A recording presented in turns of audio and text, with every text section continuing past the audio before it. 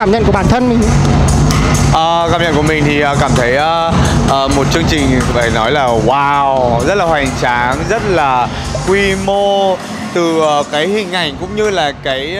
layout ấy, tức là mọi người chọn màu sắc cũng như là trang phục nó rất là nhất quán và khiến cho một cái sự kiện nó rất là uh, đẹp cũng như là thời trang và cá tính mọi thứ mọi người nhìn vào là tất cả đang hòa chung vào một cái red Scott và không có ai bị uh, lạc sóng ra ở bên ngoài thì mình cảm thấy đây một uh, sự kiện rất là chuyên nghiệp Thế thì về phía Vương Khánh thì Vương Anh có chia sẻ một chút là những cái kế hoạch hay những cái dự định tương lai sắp tới của bản thân không?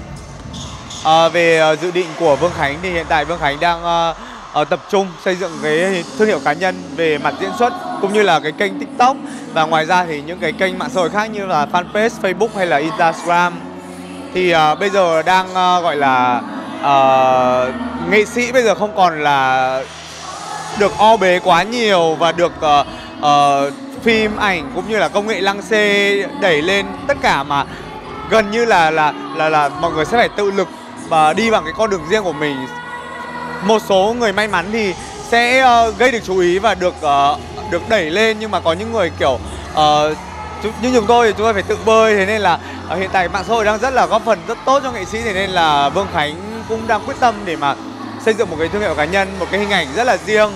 Cũng như mọi người có thể thấy là trên tiktok thì khánh đang xây dựng cái hình ảnh là một anh khánh lễ tân. Ở cái khách sạn lễ tân ở các quán hàng tất cả mọi thứ đều có cần có lễ tân. Thế nên là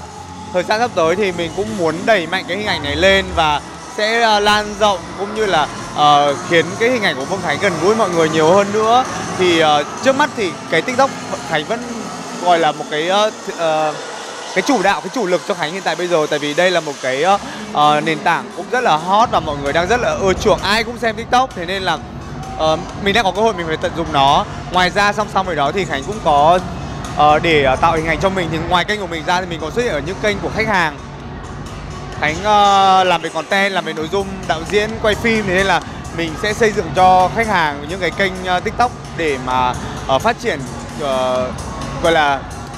lấy ngắn nối dài đấy, tức là mình uh, mình uh, kiếm nguồn lợi từ những cái việc đó cũng như là mình tạo thương hiệu cá nhân cho mình ở trên những cái nền tảng cũng như là những, những cái kênh của khách hàng như thế. Đấy, ngoài ra thì cũng còn một số những cái dự án khác nữa nhưng mà uh, thời gian hiện tại thì bây giờ thời gian đã không có để uh, bắt đầu làm cho những cái dự án đấy. Nên là mình cứ lai dai lai dai mình sử dụng những cái clip tiktok đấy mình đăng lên fanpage cũng như là mình đăng lên youtube để uh, lan rộng tải uh, lan rộng cái uh, những cái sản phẩm của mình ra hơn. Đấy. Chúc duy khánh trong thời gian sắp tới có thể phát triển và thành công như những kế hoạch mình mong muốn. Cảm ơn cảm ơn bạn cũng như là cảm ơn dk Cuối cùng mình mong tất cả mọi người hãy cho mình một like, một subscribe, một share clip này để clip này có thể phát triển hơn nữa và mình có thể tạo ra nhiều sản phẩm hay hơn nữa. Cảm ơn tất cả mọi người.